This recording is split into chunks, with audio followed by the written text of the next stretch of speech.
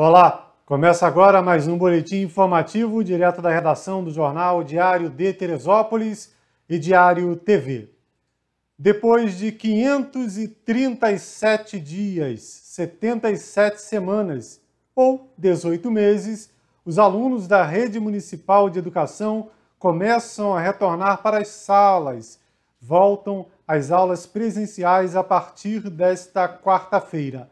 A repórter Paola Oliveira conversou com a secretária municipal de Educação, Satiele Santos, sobre esse retorno. Depois de quase um ano e meio sem aulas presenciais nas escolas, a Prefeitura de Teresópolis confirmou a retomada das aulas presenciais aqui no município em toda a rede municipal a partir da quarta-feira, dia 1 de agosto. Para falar mais sobre esse retorno das aulas, ao meu lado está a secretária de Educação, Satiele Santos. Satiele, como que as secretarias de Educação e Saúde se organizaram para esse retorno? É um prazer poder falar sobre isso, trazer esclarecimento à população. Nós começamos a organização entendendo o que seria essa retomada. Um momento delicado, onde as unidades precisavam se preparar, preparar as comunidades, preparar os professores para receber nossos alunos que estão aí há um ano e meio ansiosos por esse momento. Então, cada unidade escolar fez o seu projeto de retomada.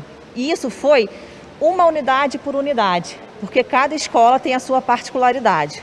Então, nós montamos um, um trabalho base para que eles pudessem se basear naquilo e criaram o seu plano de retomada, considerando o tamanho da sala, quantidade de alunos, espaçamento, o decreto que considerava um e meio, metro e meio de distanciamento entre as pessoas do ambiente. Então, tudo isso foi colocado no plano de retomada, validado com a saúde para um retorno seguro.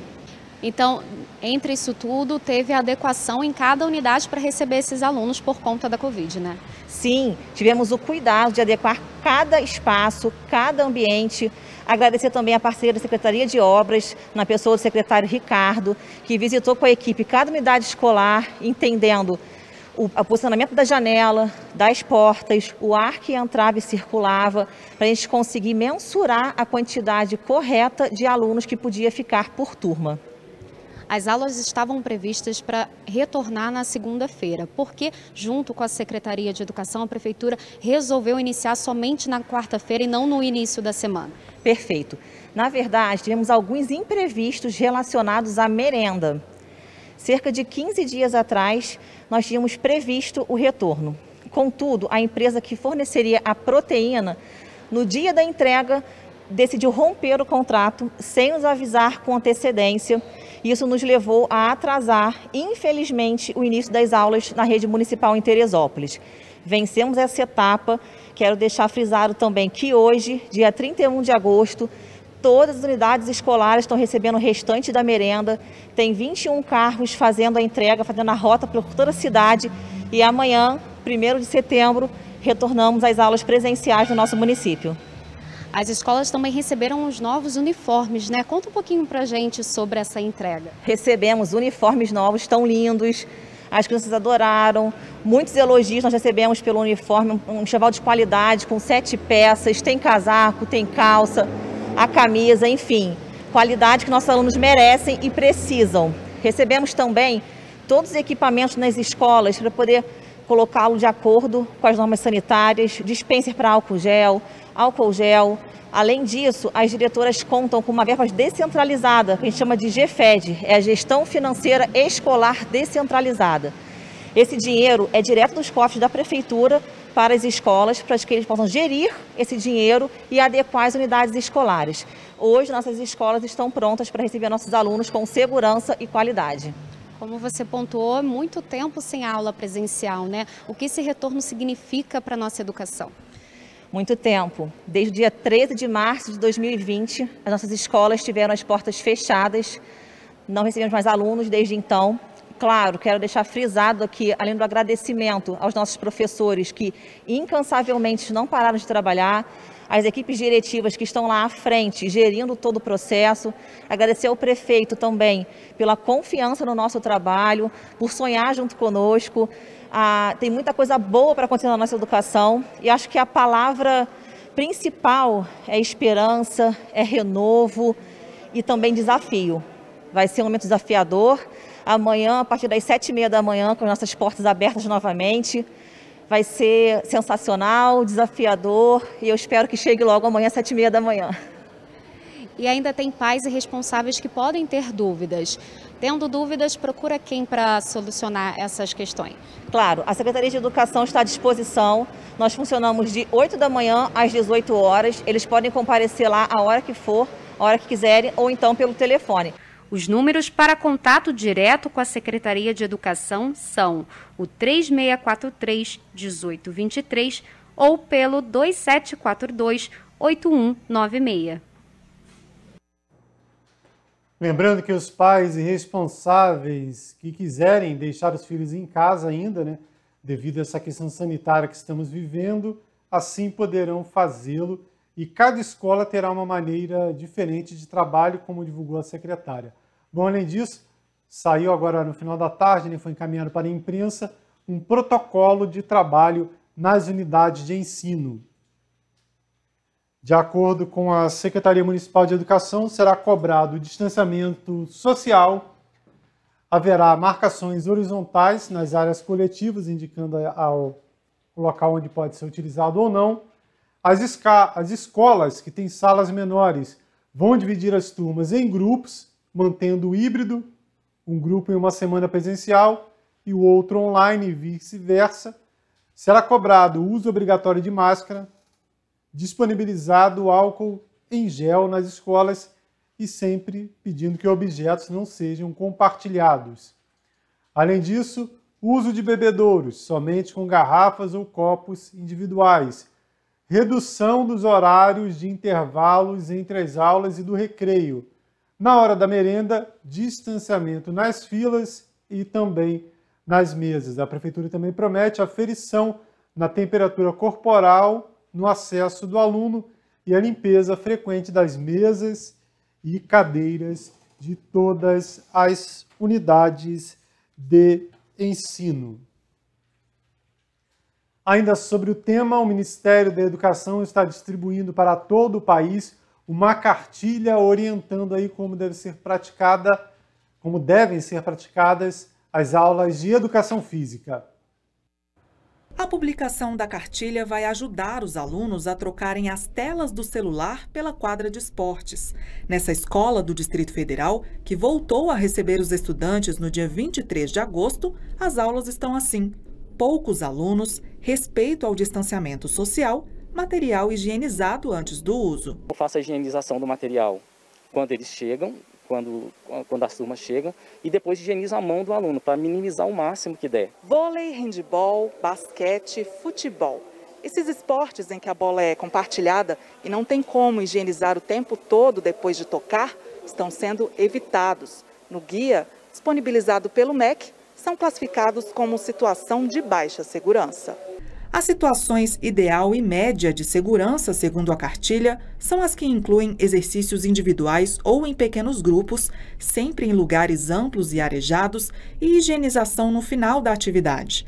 E além de todos esses cuidados, o guia também destaca a importância da educação física para a saúde e desenvolvimento dos alunos. Ele traz algumas orientações do, dos protocolos, como nós podemos estar, como o profissional de educação pode ajudar nesse momento, né, e também ajudar os alunos que estão retornando de uma vida de isolamento, de sedentarismo. Hoje, é, eu acho que é a primeira aula de educação física da minha turma, a gente fez a aula do slack, do equilíbrio, e a gente fez umas aulas treinando como que faz isso, né?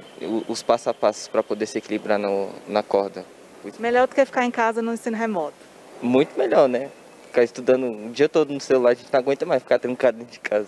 O Ministério da Educação lembra que, seguindo os protocolos de segurança, a atividade física é recomendada. Ela ajuda nas funções cerebrais, na saúde mental e na regulação das emoções.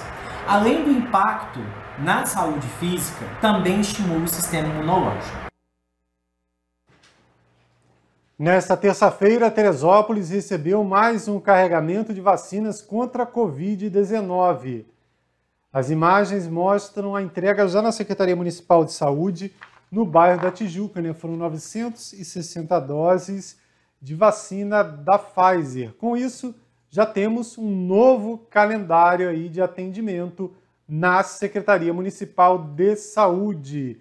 Atenção, quarta-feira, 1 de setembro, adolescentes de 14, 13 e 12 anos com comorbidades serão atendidos.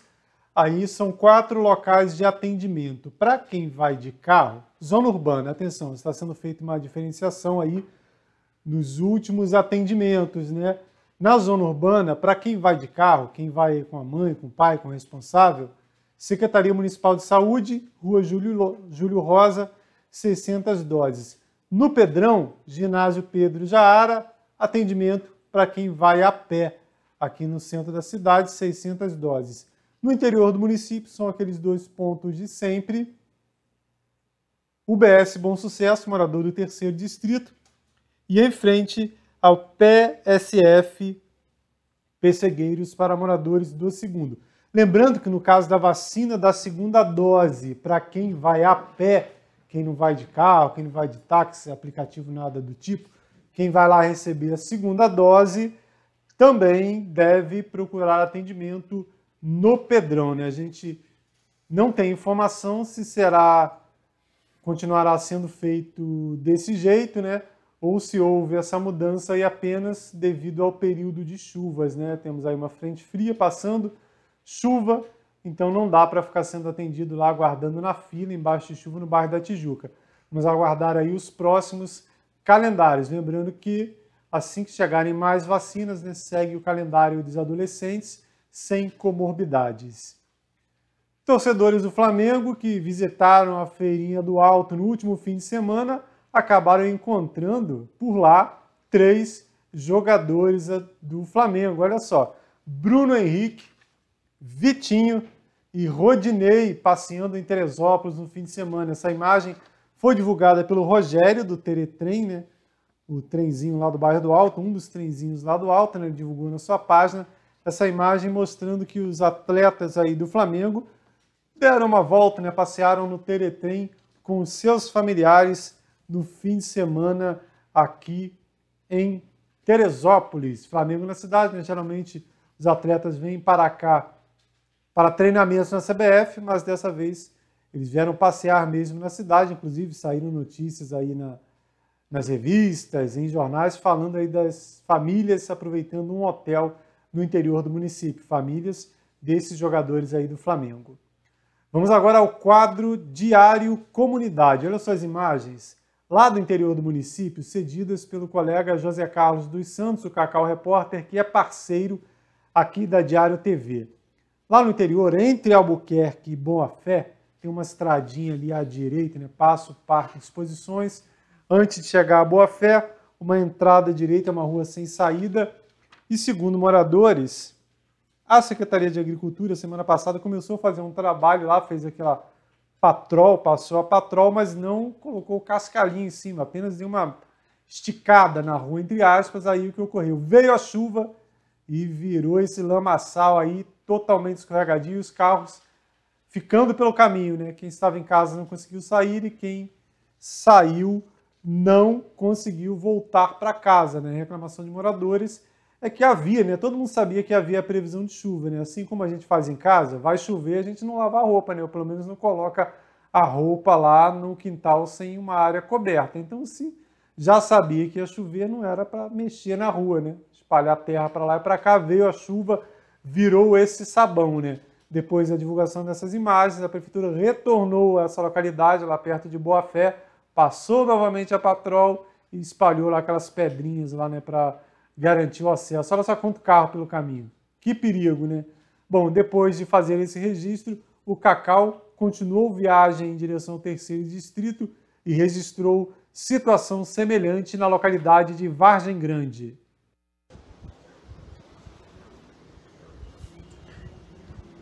E Vargem Grande, hein? Olha aí. Olha onde nós estamos.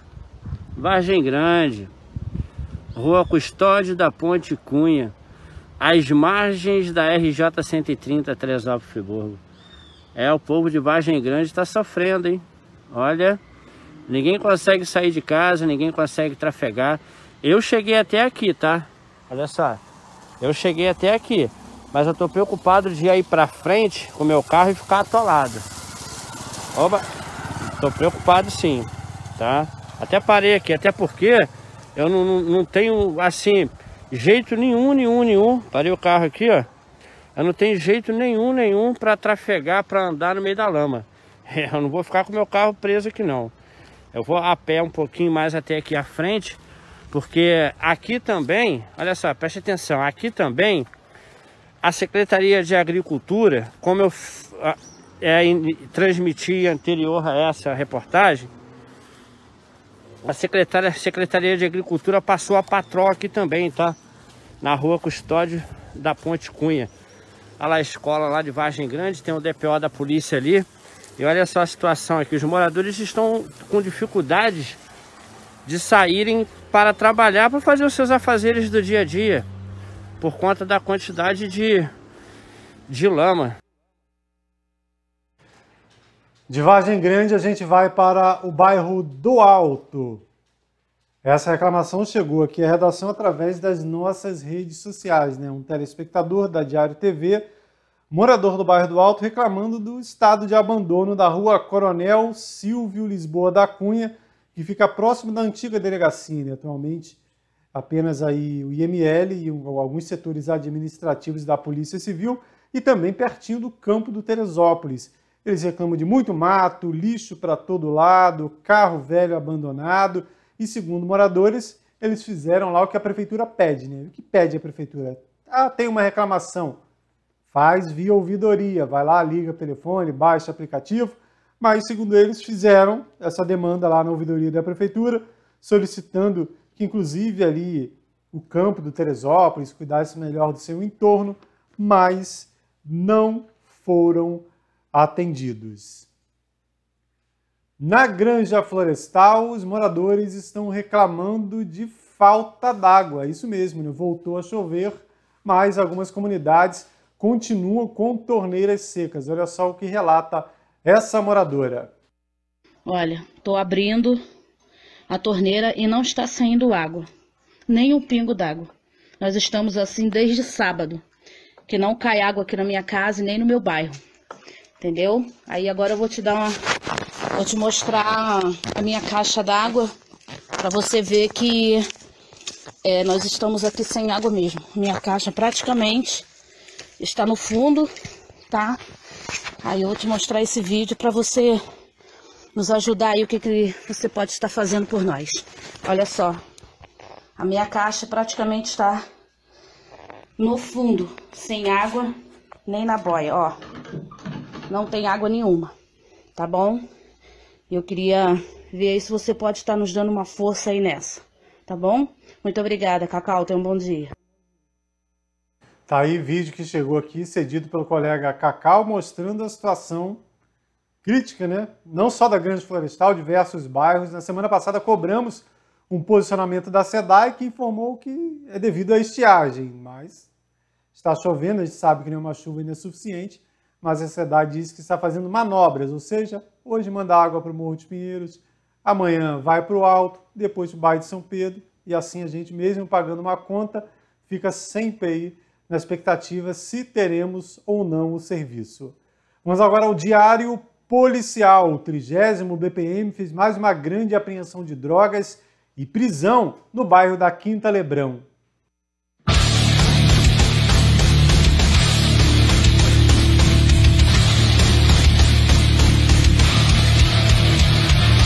As guarnições de Patamo, dando continuidade ao trabalho que realizamos em Teresópolis de combate ao tráfico de droga.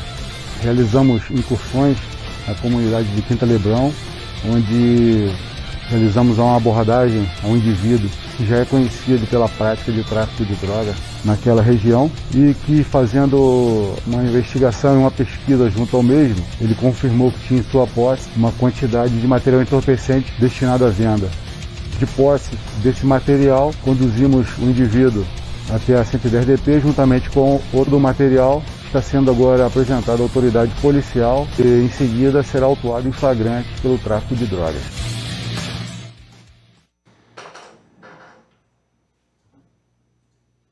Bom, esse material, como foi, foi visto, né, foi divulgado, foi produzido pela comunicação aqui do quartel.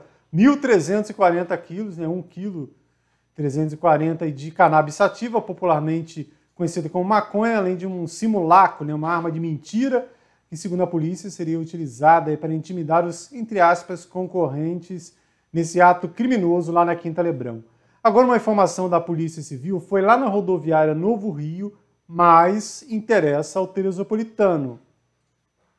Foi uma prisão, três pessoas foram presas na rodoviária Novo Rio, né, que é onde para o ônibus de Teresópolis quando a gente vai para o Rio de Janeiro, vendendo passagens de ônibus aí que foram adquiridas de maneira ilegal, usando documentos e dados de terceiros, além de passagens falsas, né? Olha só, lá no Rio de Janeiro.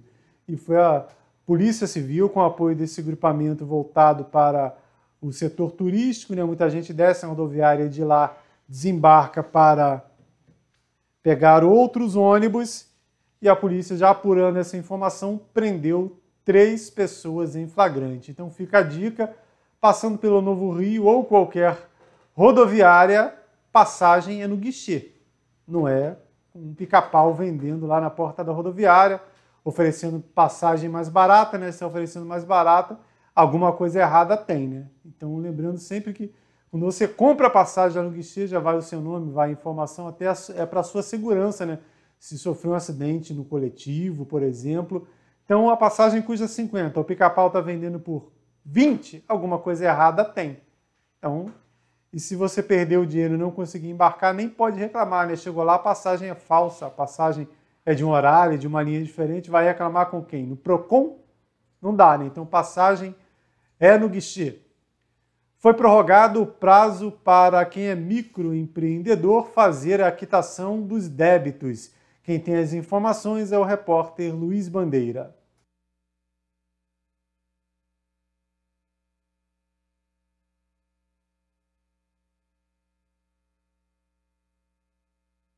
A Receita Federal prorrogou o prazo para que microempreendedores individuais, os MEIs, regularizem a sua situação.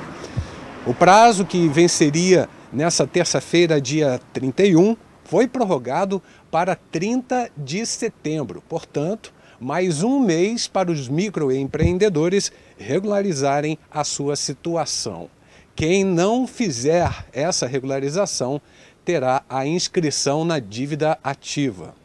Segundo a Receita Federal, existem 4,3 milhões de microempreendedores inadimplentes, que devem, ao todo, 5,5 bilhões ao governo. Isso equivale a quase um terço dos 12,4 milhões de MEI registrados no país. De um total de 19.047 empresas cadastradas na Receita Federal em Teresópolis, 12.233 são MEI, mais de 46% do setor de serviço, 29,6% do comércio e 25% restantes divididos entre indústria, construção civil e agricultura. Os débitos em cobrança podem ser consultadas no PGMEI, versão completa, com certificado digital ou código de acesso, na opção Consulta Extrato barra Pendências, Consulta Pendências no CIMEI. Essa opção também permite a geração do DAS para pagamento. A Secretaria Municipal de Desenvolvimento Social realizou mais uma etapa de entrega de cobertores e roupas que foram arrecadados nos últimos meses aqui no município. Dessa vez, o trabalho que é liderado pelo secretário Valdec Amaral, que aparece na, na imagem, teve como destino a localidade do Hélio Barriga d'Água, né, uma localidade lá no interior do município, próximo à Vargem Grande. Foram roupas, agasalhos e cobertores arrecadados pelo Centro de Referência de Assistência Social, CRAS, alto e atendeu as famílias que são referenciadas pela unidade. Né? Apesar do nome, CRAS Alto, esse centro de referência atende diversas localidades, entre elas essa aí no interior do município, no terceiro distrito de Tresópolis. Bom, fechando esse boletim informativo, olha só uma imagem no mínimo curiosa, né? A gente recebeu algumas vezes essa imagem aqui em Teresópolis. O motoboy aqui da cidade, eu mesmo já vi pessoalmente, né? Fez uma brincadeira aí, né? Chamando para ver se a Cine consegue chamar a atenção dos motoristas e outros condutores de moto que não respeitam as regras de trânsito. Ele deu uma mensagem aí, né? Vai para a esquerda, dê seta para a esquerda. Vai para a direita, seta para a direita. E assim você diminui consideravelmente as chances de se envolver em acidente. Então, com essa mensagem aí, né? Com essa brincadeira, já que não vai dar seta, aponta com o chifre. Brincou o motoboy. Ele fez aí uma espécie de alerta, né? Porque a gente sabe que a situação do trânsito em Teresópolis cada vez mais caótica, cada vez mais carros, cada vez mais motos nas mesmas ruas e, infelizmente, entre tantos condutores, muitos que não respeitam o básico e colocam inclusive terceiros em risco. Essas e outras notícias você confere em nosso site netdiario.com.br. Se houver qualquer atualização antes da entrada de um novo boletim informativo, além da nossa página, você vê aqui na barrinha de notícias da Diário TV e também em nossas redes sociais: Instagram, Facebook e YouTube. Lembrando sempre, você que acompanha a programação da Diário TV lá pelo YouTube, não deixe de se inscrever em nosso canal. Até mais!